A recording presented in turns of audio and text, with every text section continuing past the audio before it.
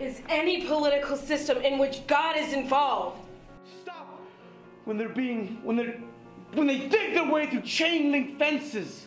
My name is uh, Victoria Cepeda. I am a third year drama major and I am the director of um, Quebrando el Silencio, Breaking Through the Silence. Our show is ranging from um, themes of like identity, um, family, um, there's political um, slams in there, slam poetry.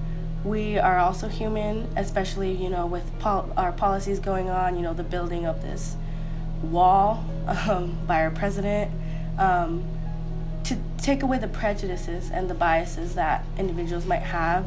Um, you know, we're more than just that. We are people with families, backgrounds, vibrant culture. I, mean, I was uh, one of the playwrights, um, and we really wanted to just capture our stories, stories that we don't really talk about, and um, a lot of these things are really personal uh, to other playwrights also. Um, and together we realize how how much we connect to each other, and I feel like this is really starting a dialogue between us artists. They're hurting.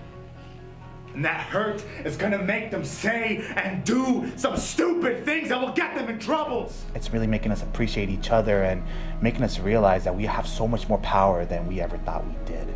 And we wanted to put this together in order to share it to everyone else. I Pledge allegiance to the flag of the United States of America and to the republic for which it stands, one nation, under God, indivisible, with liberty and justice for all. And justice for all. And justice.